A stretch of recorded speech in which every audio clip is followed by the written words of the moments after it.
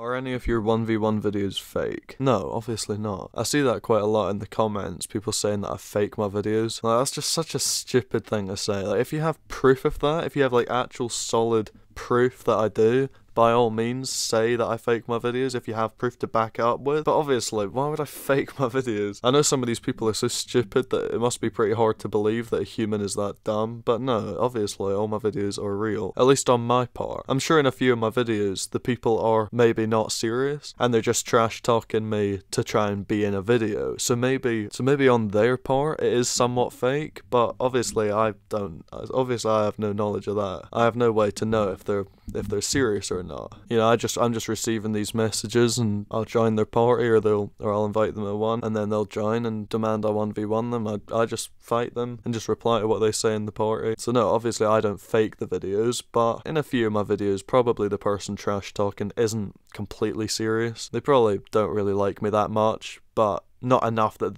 you know they don't hate me enough to to be messaging me that stuff. They're probably just playing that up a bit just to try and get into a video. But obviously, no, I don't fake my videos. You know, people have messaged me before saying, "Why do you fake your videos?" And then I'm asking them for proof to actually back that up with, because obviously, if you're gonna make a claim like that, you can't have proof to back it up with. And then they just say that they were messaging someone who was in a video and they were saying that they were just joking. I think this was about those the Roadmen video back a while ago, the Jack Spalding guy, that video, and quite a lot of my subs messaged me saying that they'd messaged the two guys in the video and they were saying they were just acting, which is so obviously not true. They obviously didn't know I was a YouTuber. And obviously, when they start getting all these messages saying, oh, you were in the YouTube video, they go and watch the video and they're like, oh, fuck. And they realize that they've made absolute tits of themselves and they're obviously embarrassed by how immature and stupid they are in the video. Obviously, they're gonna say they were joking because they know how stupid they sound. They're not gonna be admitting, yeah, I am actually that dumb. Obviously, they don't want people to think they're serious because they know how stupid they sound. So obviously, they're not gonna take responsibility for anything they said. I'm pretty sure they were telling people that I paid them to be in the video as well, that I paid them to say all that stuff.